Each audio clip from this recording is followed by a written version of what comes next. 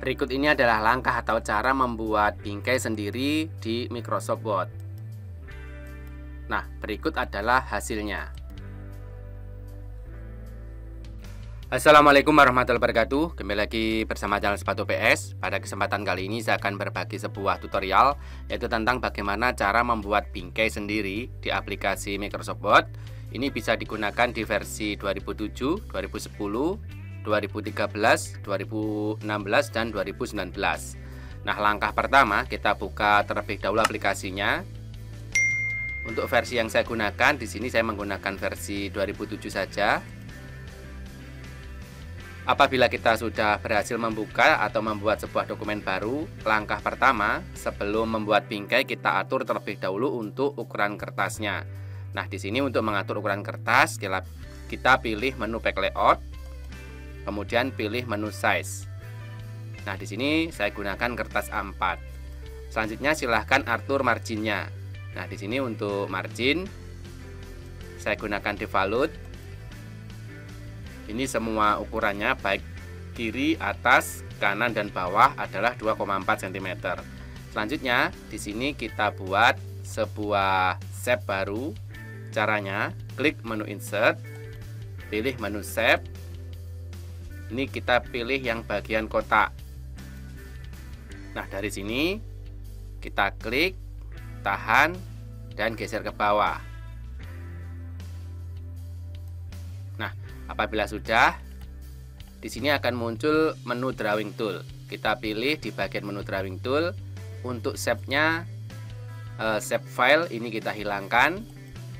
Kemudian di bagian shape outline teman-teman klik Kemudian untuk tebalnya kita atur misalkan 6 poin.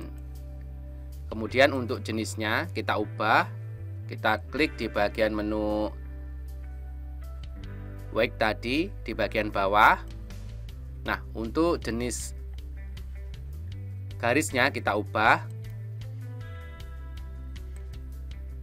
Nah, di sini ukurannya kita ganti kembali Apabila sudah, klik tombol OK. Nah, kemudian untuk warna agar lebih menarik, misalkan di sini akan saya buat warna biru. Nah, selanjutnya agar lebih menarik, kita tambahkan di bagian kanan, kiri, atas, bawah. Ini adalah sebuah hiasan dengan cara klik menu insert, kita tambahkan untuk text box. Kita buat yang bagian pertama. Nah, di sini kita hapus Nah, di sini teman-teman klik di bagian menu insert, pilih di bagian grup simbol, ini adalah simbol. Klik more simbol. Nah, di bagian jenis font silahkan ganti. Di sini teman-teman ganti ini 12 Akurti Image. Nah, teman-teman bisa download jenis fontnya di, yang ada di deskripsi video. Nah, teman-teman pilih bagian hiasan yang akan digunakan. Sebagai contoh, saya menggunakan yang teman-teman lihat di layar monitor. Apabila sudah, kita klik tombol insert. Kemudian klik tombol close. Nah, di sini untuk ukuran fontnya sangat kecil. Kita ubah terlebih dahulu, kita seleksi.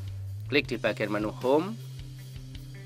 Misalkan ukurannya akan saya buat menjadi 72 apabila kurang besar teman-teman silahkan ganti sendiri misalkan 120 apabila sudah tekan tombol enter. Nah kemudian untuk warna font kita ubah. Nah dari sini di bagian menu text box ini kita klik. Kemudian kita pilih di bagian text box tool format. Ini untuk shape outline nya kita hapus. Kemudian untuk warnanya kita hilangkan apabila sudah seperti ini teman-teman silahkan ukurannya sesuaikan. Tarik ke bagian sebelah kiri. Selanjutnya copy dari text box tadi. Caranya klik di bagian kotak tekan tombol kontrol tarik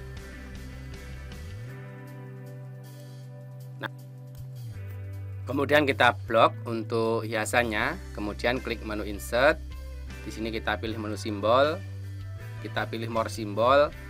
Kemudian kita pilih untuk jenisnya yang lain. Nah ini ada sebelahnya. Apabila sudah klik tombol insert. Klik tombol close. Nah maka posisinya akan berubah. Teman-teman sesuaikan posisinya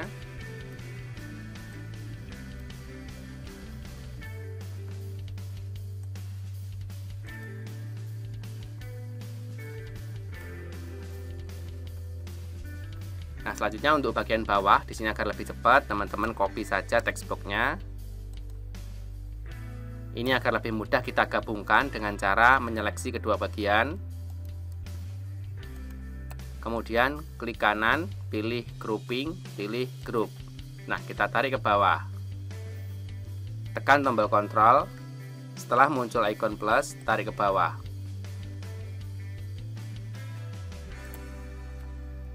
Sesuaikan posisinya terlebih dahulu. Apabila sudah kita blok di bagian e, simbol tadi. Kemudian masih pada menu drawing tool di sini pada simbol kita pilih more simbol kita pilih yang sesuai dengan posisinya. Klik tombol insert. Kemudian untuk bagian sebelah kanan kita pilih klik tombol insert. Kemudian klik tombol close Nah, berikut adalah hasilnya. Apabila kita lakukan print preview, nah, berikut adalah hasil dari bingkai yang berhasil kita buat.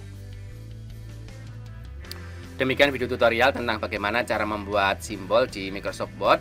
Mudah-mudahan bermanfaat. Terima kasih. Wassalamualaikum warahmatullahi wabarakatuh.